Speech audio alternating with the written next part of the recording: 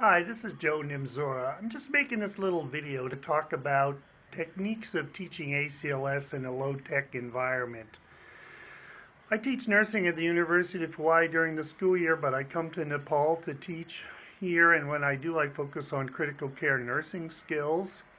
And I've had people email me or question, you know, how you can teach critical care uh, in a low-tech country, and it's doable. I've been doing this since 1980 on and off and I'm old so I remember back before we had the gazillion dollar mannequins and simulation like that. Let me show you the main tool that I use and you may laugh when you see this but uh, one of the things that's always been in the ACLS manual has been the idea that there are actually only six basic heart rhythms now, there are going to be purists who think, oh, gee, I spent a lot of time learning ECG and it's much more complicated that than that. That can't possibly be true. This has actually been true in the Heart Association manual for decades. And I will say this no matter how qualified you think you are, I'm more qualified than you, and this is true. But so there, what I have done is I make sets of these cards.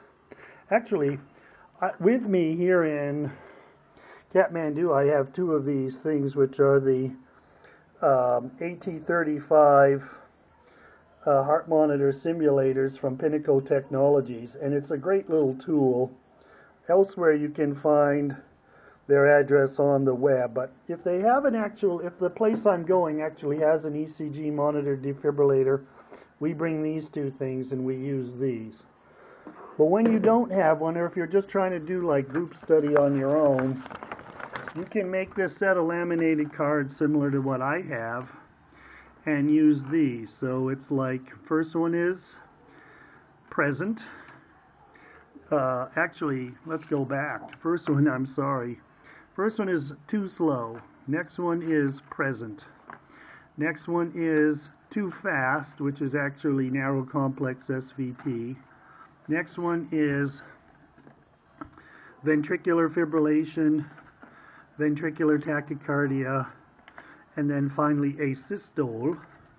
Um, here in Nepal, I because I have when we break up into smaller groups, I have more than one set of them, and they're all color coded to have people lead each group. But typically, the way that happens is you can do this in lieu of pushing the buttons on some fancy simulator or needing a laptop what I do is, you know, we give them this scenario and we say, okay, start off with a person in VFib. Okay, start off doing BLS, and then you go say, when you hook up the monitor, this is the rhythm we have. Then, you know, the group is expected to verbalize or pretend to defibrillate the person, and then maybe they go back into sinus rhythm, so you hold it up.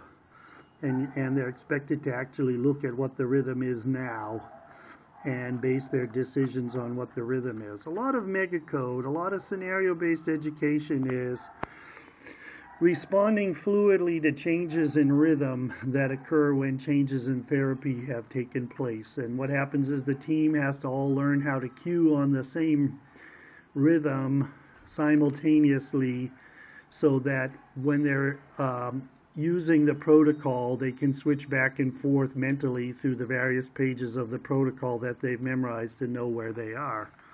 And like, for example, you know, a person comes in with chest pain and they're having bradycardia, so we treat them with atropine. A few minutes later, it's better. Pulse is better. Then maybe it goes slow again and they have to get atropine and then it's better. Then maybe they need a third dose of atropine and then that improves, or else suddenly the person goes unconscious and goes into VFib. What do we do then? And that kind of thing. I could do this more fancy and have more than six cards, but I don't.